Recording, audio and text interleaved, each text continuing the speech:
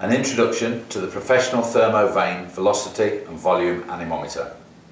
It is supplied with a briefcase style carry case with a compartmented foam insert and battery.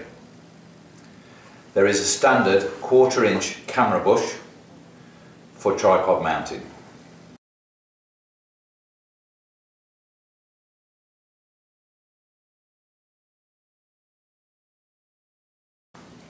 The 64mm vane has a 1.1 metre connection cable. The vane has a low friction movement and is shock resistant. The temperature sensor is located in the vane head. The display is a large 58mm high contrast LCD with a dual display of velocity and temperature. There is a display backlight for work in low light environments.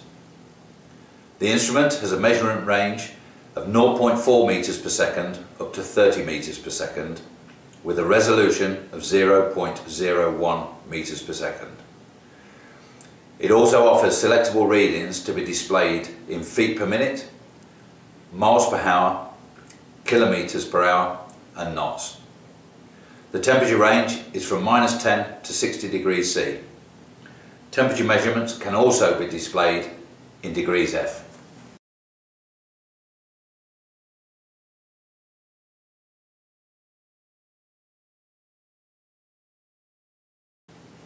There is a data hold function. By selecting this, the current reading will be frozen on the display even if the measured values change. There is a min-max memory for airflow and temperature. Selecting this function, the instrument will display the lowest and the highest readings since power on.